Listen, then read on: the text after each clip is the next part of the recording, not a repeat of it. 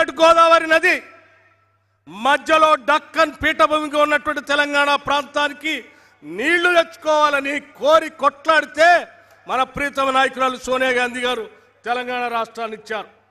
దశాబ్ద కాలం అవుతోంది కృష్ణా నదిలో నుంచి ఒక్క చుక్క నీళ్ళు కూడా ఈ బీఆర్ఎస్ ప్రభుత్వం ఈ ప్రాంతానికి పారించలేదు. ఇక్కడ పారే ప్రతి చుక్క. అది జూరాల ప్రాజెక్టు కావచ్చు నెట్టెంపాడు కావచ్చు కోయల్ సాగర్ కావచ్చు కల్వకుర్తి ఎత్తిపోతల పథకం కావచ్చు భీమా కావచ్చు. శ్రీశైలం కావచ్చు ఇవన్నీ ఆనాటి కాంగ్రెస్ ప్రభుత్వాలు కట్టి పారిస్తున్నటువంటి నీళ్ళు తప్ప దశాబ్ద కాలంగా ఈ రాష్ట్ర ముఖ్యమంత్రి కానీ ప్రభుత్వం కానీ ఒక్క చుక్క నీళ్ళు కూడా ఈ ప్రాంతానికి తీసుకొని రాలేదు అందుకే ఏ నీళ్ళ కోసమైతే మనం ఈ రాష్ట్రాన్ని తెచ్చుకున్నామో ఆ నీళ్ళు రానివ్వనటువంటి ప్రభుత్వాన్ని కృష్ణా నదిలో ముంచుదామని చెప్పి మీ అందరికీ విజ్ఞప్తి చేయడానికే వచ్చాము ఇక్కడికి. స్నేహితులను ఇక్కడ పోటీ చేసి రెండు వేల పద్దెనిమిదిలో గెలిచినటువంటి కాంగ్రెస్ పార్టీ సింహల మీద మీరందరూ చెమటోడ్చి గెలిపించినటువంటి హర్షవర్ధన్ రెడ్డి పార్టీకి ద్రోహం చేసి ద్రోహిగా మారి పార్టీ నుంచి పక్కపోయినటువంటి వ్యక్తికి పెద్ద ఎత్తున బుద్ధి చెప్పాల్సినటువంటి అవసరం ఉంది. ఈ ప్రాంతంలో ఉన్నటువంటి పోడు భూములకి పట్టాలు ఇప్పించుకోవడానికి సోనియా గాంధీ గారి ద్వారా వచ్చినటువంటి పోడు భూముల చట్టాన్ని అమలు చేసుకోవాల్సినటువంటి అవసరం ఉంది. ఆరు గ్యారంటీలు కూడా అమలు చేసుకోవాల్సి ఉంది.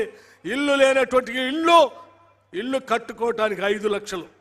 ఆరు గ్యారంటీలు అన్ని అమలు చేసుకోవాలంటే కాంగ్రెస్ పార్టీని అధికారంలో తెచ్చుకుంటే తప్ప మనకి భవిష్యత్తు లేదని చెప్పడం కోసమే ఈ సభ ఏర్పాటు చేశాం. ఈ రాష్ట్ర సంపదని వనరులు అన్నింటినీ కూడా ప్రజలకే పంచాలని ఆనాడు సోనియా గాంధీ గారి నాయకత్వంలో యూపీ గవర్నమెంట్లో లో ఇన్స్టిట్యూట్ వల్ల గ్రామీణ ప్రాంత ప్రజానికం ఏ రకంగా అయితే పాలమూరు జిల్లాలో బతికారో అంతకంటే బాగా బతకడం కోసం తెలంగాణ రాష్ట్రంలో కాంగ్రెస్ పార్టీని అధికారంలో తెచ్చుకుంటే ఈ సంపద అంతా ప్రజలకే పంచి ఆరు గ్యారంటీల ద్వారా ప్రజల జీవితాల్లో వెలుగు నింపే కార్యక్రమం ఉంటుంది కాబట్టి కాంగ్రెస్ పార్టీ చేయి గుర్తు పైన అత్యధిక శాతం ఓట్లేసి గెలిపించవలసిందిగా మీ అందరికీ విజ్ఞప్తి చేస్తూ ముగిస్తా ఉన్నాను. జై హింద్!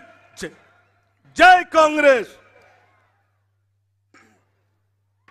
మన అభిమాన నాయకుడు డేర్ డైనమిక్ యంగ్ ఈయన నుండి పెద్దలు పిసిసి అధ్యక్షులు వారి అమూల్య రేవంత్ రెడ్డి గారి వారి అమూల్యమైన సందేశాన్ని వాల్సినగా కోరుతా ఉన్నాను.